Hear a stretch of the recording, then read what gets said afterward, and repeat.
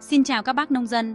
Hôm nay, tôi muốn chia sẻ với mọi người một sản phẩm cực kỳ hiệu quả để diệt trừ sâu đức thân và sâu đức quả, đó là Takumi 20 The Verge. Sâu đức thân và sâu đức quả là những kẻ thù đáng gờm. Chúng phá hoại mùa màng, giảm năng suất và chất lượng cây trồng. Nhưng đừng lo lắng, Takumi 20 Vega sẽ giúp các bác giải quyết vấn đề này. Takumi 20 Vega là loại thuốc trừ sâu mới với hoạt chất flubendiamide, có tác dụng diệt trừ sâu đức thân và sâu đức quả rất hiệu quả. Điểm đặc biệt của Takumi 20 VEV là khả năng thăm sâu vào thân và quả cây, tiêu diệt sâu hại từ bên trong. Chỉ cần phun một lần là thuốc sẽ bảo vệ cây trồng suốt 14 ngày, kéo dài hiệu quả cả mùa vụ.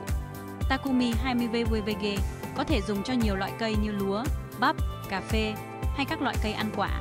Cách dùng cũng rất đơn giản. Các bác chỉ cần pha một gói 20g với 16 lít nước rồi phun đều lên cây vào sáng sớm hoặc chiều mát Nhớ đeo găng tay và khẩu trang khi pha và phun thuốc để đảm bảo an toàn nhé.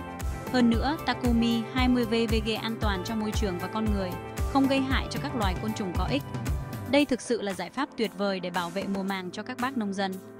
Các bác có thể tìm mua Takumi 20V VG ở các cửa hàng vật tư nông nghiệp uy tín hoặc đặt hàng trực tuyến tại didaplantan.vn.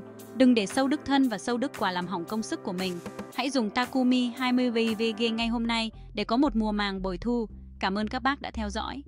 Nếu thấy video này hữu ích, hãy bấm thích, chia sẻ và đăng ký kênh để cập nhật thêm nhiều thông tin nông nghiệp bổ ích nhé. Xin chào và hẹn gặp lại.